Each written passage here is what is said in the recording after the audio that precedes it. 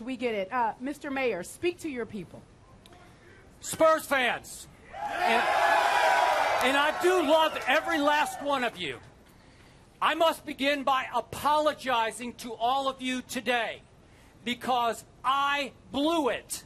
E- even I underestimated just how dominant the San Antonio Spurs are.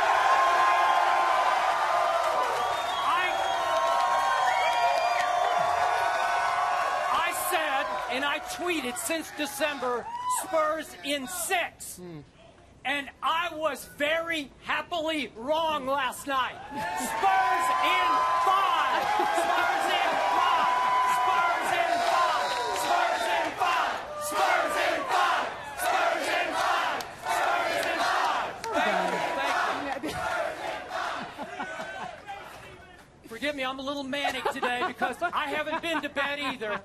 But I, I don't need to remind you that your Spurs just dominated the Miami Heat the way no finals opponent has ever been dominated. They won by the widest margin of victory combined ever. By 70 points, they beat the Heat.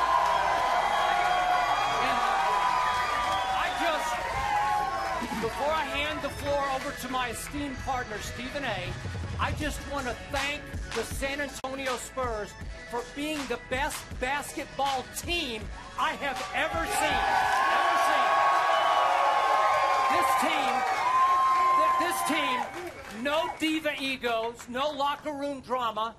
No, no, who's going to get the most shots tonight? In fact, all you need to know about my San Antonio Spurs, the MVP of the finals is the one guy they had to push to shoot the basketball. Are you kidding me? Thank you, Kawhi Leonard, for outplaying LeBron James in games three, four, and five.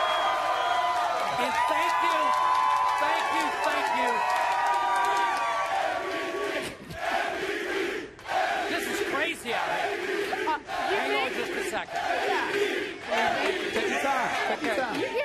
I, want to thank Tim Duncan for playing some of the greatest basketball of his career at age 38. Yeah. I, I want to thank Manu Ginobili for last night making the two huge shots that stopped the bleeding at 22 to 6. And then, then for posterizing Chris Bosh and following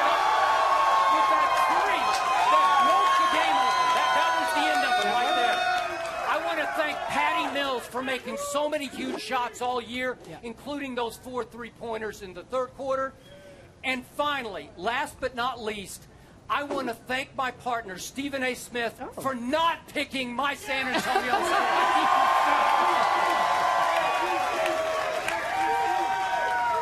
the floor is yours. Oh my. Well, obviously, I'm in enemy territory, and that's Uh-huh, fine. That's fine. Um, in, in, in, in, all in, in all seriousness, in all seriousness, I've been covering the NBA now for 18 years, and you're never happy about losing. You're certainly not happy about having your pick wrong, but you have to be humble enough to concede defeat. The fact of the matter is, is that it was no fluke. The best team stands here today as the NBA champion. It's just that simple. Um, when you look at the San Antonio Spurs, I've been saying all year long they were a better team and a deeper team. But come NBA Finals, I believe that it was evenly matched enough where it would have come down to one game. And over the course of 48 minutes, if you have an evenly matched contest, I'm rolling with the best player in the world. The San Antonio Spurs said, we ain't letting it get to that point. We're going to handle this. And, and boy, did they do it. They did not beat the Miami Heat. They beat them down. They stomped them. And, and I got to give the Miami Heat a lot of credit because after the game, whether it was in front of the podium or behind the scenes, they sat up there and they said, we lost to a better team. They whipped our butts. They were just better in every facet.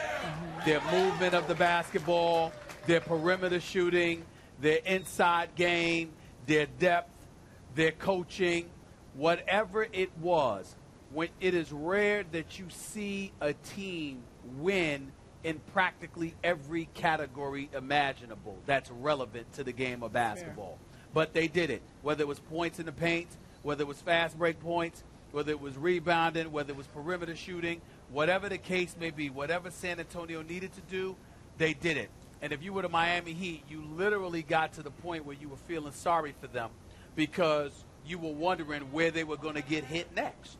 One minute it's Kawhi Leonard, another minute it's Manu Ginobili, another minute it's Tim Duncan, another minute it's it's Kawhi Leonard, another minute it's Patty Mills, and then to close the deal, Tony Parker took over late in the game.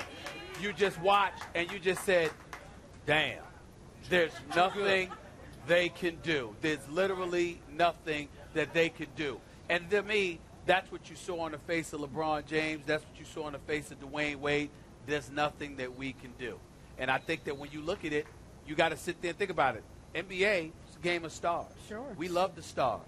But when you see the kind of team basketball that took place, all of those individual superstars basically have been put on notice by the San Antonio They Spurs. have. The league doesn't need you nearly as much as you think we do if you're not going to come in here ready to play basketball the right way because the San Antonio Spurs proved to you what you can do when you're willing to play the right way. I tip my cap to them. The best team in the NBA stands as the NBA. Well said, sir. Well said, sir. I appreciate you saying that. And just to to underline just how dominant this finals was for the Spurs. Remember after game two, I sat in this very seat and I had to apologize to Ernestine because I got so upset Yes. the night before. We remember. It was because I couldn't recognize my Spurs down the stretch. Okay. They should have won game two. They should, they had it right there. So so again, and maybe I'm being prisoner of the moment. I'm being manic here, but but in the big picture, that they should have won four straight games as opposed to in five. Well, Yeah. well, I just, I just, I disagree there. I don't agree with that. But what I will tell you is this: I don't think you're truly appreciating the Spurs from this perspective. What I saw from the Spurs over the last three games, Miami could have won games one and two and hmm. still lost this series. Okay.